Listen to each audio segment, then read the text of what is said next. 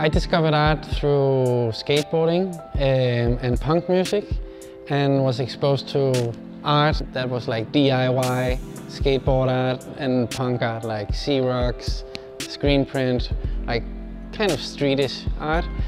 Uh, that was following a personal passion for mine, following the, the, the love for, for music and for skateboarding. So I realized that people were doing that for a living and I wanted to do that.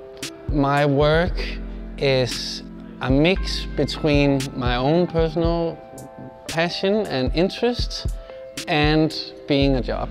So I mix the two things. I mix art and I mix design. My art has changed over the years in the way that my interests have changed.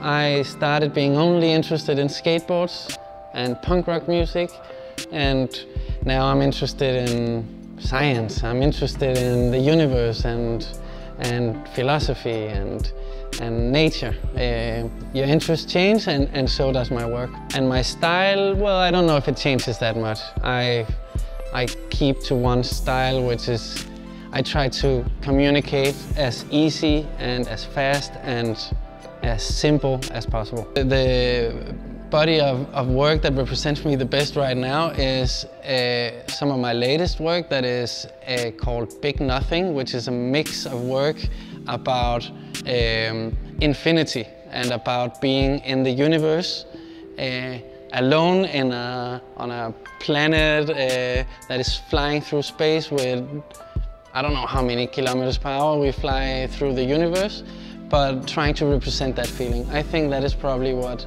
what represents my work the best.